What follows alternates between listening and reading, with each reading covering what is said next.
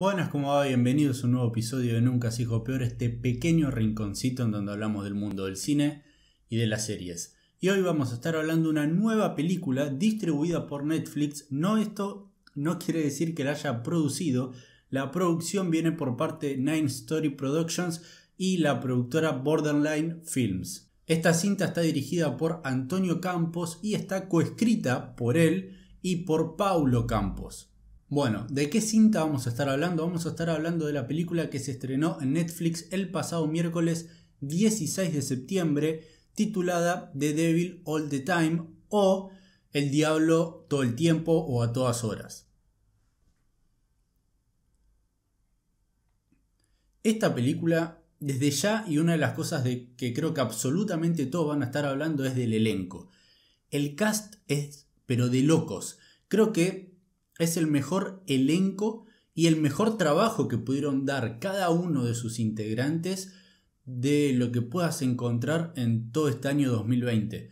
No creo que salga una película o hayas visto una película de lo que va del año que el cast haya dado una performance tan fantástica y tan sublime y que además cuente con unos nombres impresionantes como en esta película. Entre los nombres principales tenemos a Bill Skarsgård, Tom Holland, Robert Pattinson, Haley Bennett, Sebastian Stan, ¿quién más? Jason Clark y Elisa Scanlon. Actualmente este largometraje cuenta con un 64% en Rotten Tomatoes por parte de la crítica especializada y con un 83% por parte de la audiencia. Se puede llegar a ver que hay un cierto desfasaje importante entre lo que opina la crítica y entre lo que dice y la cantidad de gente que recomendaría ver esta película por parte de los espectadores. Ya está claro que mi postura está dentro de los críticos que recomendarían esta película como también por parte del 83% de la audiencia que le está dando un visto muy bueno a este largometraje. Bueno, como bien dijimos anteriormente, para mí lo primero que hay que mencionar cuando vamos a hablar de, de Devil of the Time es el elenco. El laburo por parte, el laburo actoral por parte de cada uno de los miembros del elenco es fantástico, es increíble, es de lo mejor del año. Quienes se roban la película para mí son Bill Skarsgård, Tom Holland y Robert Pattinson. Más que nada, Bill Skarsgård y Robert Pattinson que creo que dan una performance mucho más notoria y que está por encima, un poquito por encima de todos los demás. Más que nada, yo diría Robert Pattinson que hace un, papel tan, tan distinto a lo que es él y a lo que podés ver de él, es que es fantástica y sinceramente es una transformación total en cuanto a lo que vos pensás que puede llegar a ver como, como performance que puede llegar a brindar Robert Pattinson te imaginas algo y de repente ves esta película y decís, pero esto no es Robert Pattinson, es, es este personaje. Es increíble, no es que Robert Pattinson está actuando este personaje, es ese personaje. Es increíble. Algunos pueden llegar a decir que es una actuación exagerada y sobreactuada de él. Sí, lo puedo llegar a entender, pero es que es tan distinta la actuación que él está brindando y el personaje que él encarna de lo que es él, que quizás eso también puede llegar a chocar con la gente. Un, personaje y un tipo de, de, actuación que me hace recordar a esta es una que pudimos ver de Jake Gyllenhaal en Oksha. El personaje que él brindó e interpretó en esa película es tan chocante y tan exagerado y exuberante, por así decirlo, que también para muchos esa interpretación de él era muy exagerada y sobreactuada. Para mí era una excelente performance. Ahora, hablemos de la historia y de la ejecución de la misma. Eh, yo estuve enganchado desde el minuto uno. Sinceramente, no les voy a mentir, a mí me encantó esta película. Hay algunas cosas que siento que hay, que hay aspectos negativos, sí, los hay, y para mí más que nada llegando al final de la misma. Pero la experiencia, el visionado que tuve de la misma es fantástico desde mi punto de vista. Está más que claro y entiendo que mucha gente, muchos críticos o espectadores el espectador promedio diga esta película es aburridísima o tarda un montón en realmente agarrar ritmo. Sí, lo entiendo. Pero desde mi punto de vista yo estuve enganchado desde el minuto 1. Claramente podemos decir que The Devil of the Time está dividida en dos tramas, en dos partes. Durante los primeros 50 minutos vamos a ver la introducción, por así decirlo, a lo que va a ser después las consecuencias de los actos ocurridos en esa introducción. Son dos historias que están completamente enlazadas entre ellas, pero que también funcionan como una historia individual en sí.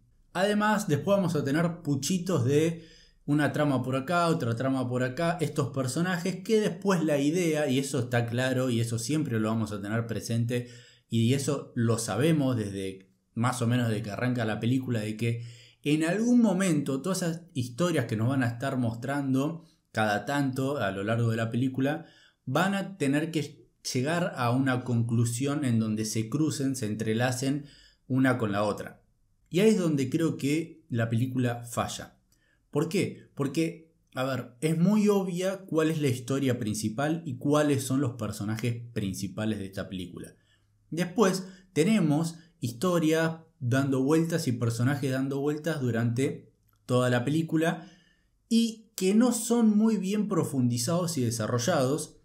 Y acá es donde después, en el final, donde sabemos que realmente todo va a confluir, no hay el peso que podría haber tenido. ¿Por qué? Porque tenemos a un personaje y a unos personajes que están sumamente desarrollados y con un background espectacular de fondo. Y después tenemos otros personajes que hacen actos y nada más. Actúan de una manera, hacen lo que vos ves en pantalla y listo. Y sirven más que nada para darle mayor peso a lo que luego va a estar haciendo el personaje principal y no son en sí personajes completamente desarrollados. A mí me hubiese gustado en lo personal que se le dé un poquitito más de desarrollo y profundidad a estos personajes para que se sientan personas. Si bien podemos decir que el final es lo más criticable y lo más negativo de esta película por cómo culminan absolutamente todas las historias, además tenemos que decir y por lo contrario que esos últimos 40 minutos de película son increíbles. No porque estén tan bien escritos, sino que están ejecutados de una manera de que se siente esta necesidad o este, este sentido de la adrenalina y vos vas a mil junto con lo que está pasando con todos los personajes y hace de que si la película para mí era bastante interesante, esos últimos 40 minutos fueron para mí increíbles. Otros aspectos fuertes de esta película, a mi parecer, es la fotografía y la musicalización. La musicalización a mí me gustó una barbaridad. Yo sinceramente discrepo con quienes digan que esta película peca de ser pretenciosa y que es simplemente eso, se queda en eso, en ser pretenciosa. Para mí no, está muy bien dirigida, está bien escrita, las actuaciones son fantásticas, buena fotografía, buena musicalización, la historia es que está buena y es, en mi parecer, es entretenida. Y el mensaje que se quiere dar para mí no es pretencioso y está sumamente claro y a mí me gustó. Esto es una opinión completamente personal. Así que a este punto, al 21 de septiembre del 2020, para mí The Devil All the Time es una de las mejores películas de este año.